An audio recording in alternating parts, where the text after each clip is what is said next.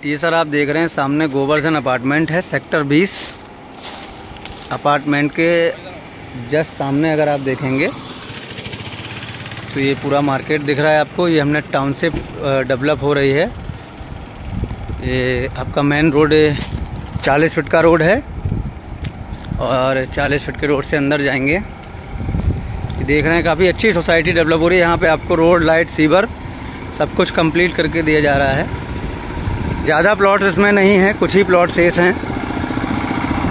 और ये देखिए पूरा एरिया डेवलप